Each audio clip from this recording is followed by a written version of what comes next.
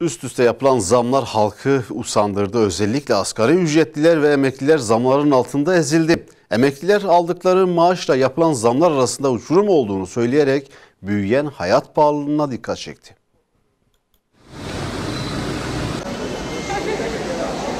Ben bir emekliyim. Şu anda 1993 lira aylık çekmişim. Ben şimdi hangi birini kapatacağım? Türkiye'de kimi yer arıyor para tüketsin. Ha biz de böyle dilenmeyen dilenci olmuşuz. Verdiği yüzde dört, aldığı yüzde on dört. Salgın sonrasında ard arda gelen zamlara her kesimden tepkiler gelmeye devam ediyor. Özellikle düşük gelirli vatandaşlar artık zamlar altında eziliyor. Elektrik, doğalgaz ve temel gıda ürünlerine yapılan zamlar emeklilerin de belini bükmüş durumda. Bütün insanlardan yani bütün emeklilerden sorduğum zaman benden ben kendi derdimi unutuyorum. Emeklilik kutsal bir haktır. Çalışma hayatının sonunda kazanılmış bir haktır. Bu hakkın korunması ve geliştirmesi devletin de, hükümetlerin de, iktidarların da görevidir.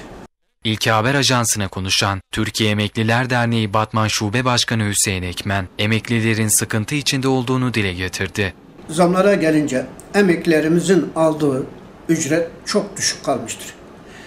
Habire zamlar yapılıyor. Bu zamlarla ilgili emeklinin beyni büküktür. Emekli geçinemez duruma gelmiştir. Emekliye haksızlığa uğruyor.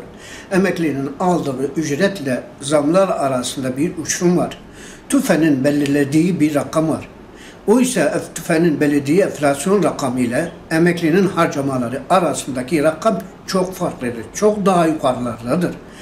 Mutfakta hakikaten bir yangın var. Emekli sıkıntı içinde. Emekliden hastane ve ilaç kesintisinin yapılmasına da tepki gösteren Ekmen, bu uygulamanın iptal edilmesini istedi. Emekli gidiyor hastaneye. Zaten belli yaş gereği de hastalıklı hastalıklar da çoğalıyor. Gidiyor. ilaç parası alınıyor. Muayene parası alınıyor. Reçete parası alınıyor. Yani bunlar hepsi bir yüktür.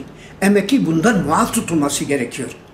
Emeklinin emeklinin sağlıkta hiçbir ad, ad hiçbir ad adı altında hiçbir kesintinin yapılmaması lazım. Ayrıca bu maaşların da düzelmesi için 2000 öncesi yapılan intibakın 2000 sonrası emekliler için de yapılması gerekiyor. Bu emekliler bu ülkenin ağzı doğalı, yüzü nurlu, ak saçı insanlar bu memlekete büyük hizmetler vermişler. Bu insanların onlara yetecek kadar bir ücretin bağlanması, maaşını ödenmesi, bu son e, hayatlarının son baharında, son zamanlarında iyi bir ortamda yaşamaları için mutlaka mutlaka aylıkların yükselmesi, geçinebilecek kadar bir aylık, insanca geçinebilecek, kimseye muhtaç olmadan, üzüntü yaşamadan bir aylığın bağlanmasını talep ediyoruz.